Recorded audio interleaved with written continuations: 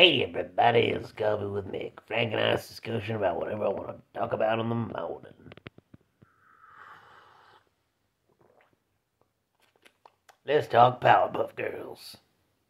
That franchise is still a thing somehow. I still think Craig McCracken is working on it. You know, like uh, there's a reboot or sequel coming out soon by Cartoon Network Europe. Not Cartoon Network America, because you know. You know.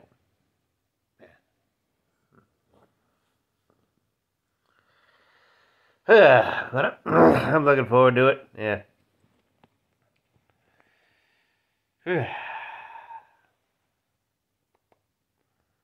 Still thinking about that live action adaptation we almost got. That was in development hell for years. Oh boy.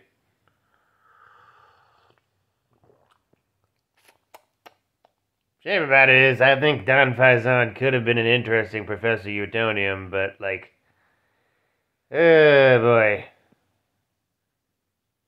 There are two kinds of reboots that happen most of the time. It's they are super grimdark and depressing and mean-spirited meta parody. This seemed to be like a combination of both, and yeah. Oh boy, I'm. Diablo Cody, what were you thinking? Hmm.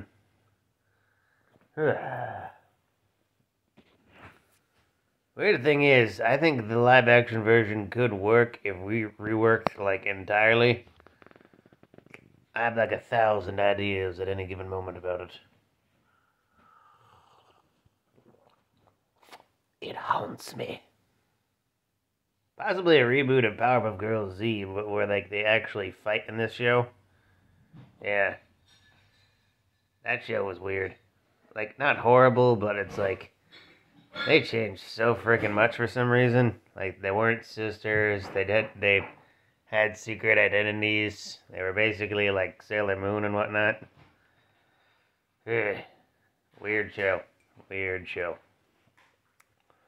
And their version of Mojo didn't have a badass volcano lair. So, like, what's the point?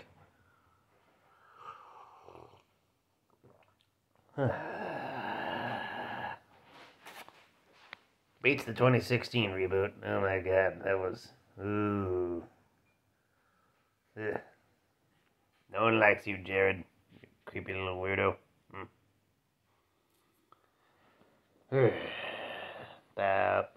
Think I'm trying to save the day. Here they come just in time, them Powerpuff Girls. Powerpuff. we get a cameo from Dexter from Dexter's Lab and the new Powerpuff Girls show, that'd be fun. Honestly, just Dexter's Lab in general. I love that show.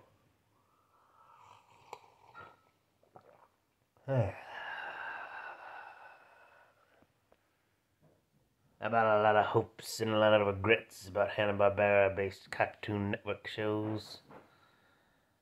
And I will continue to have both of them for the future. I bet you as well.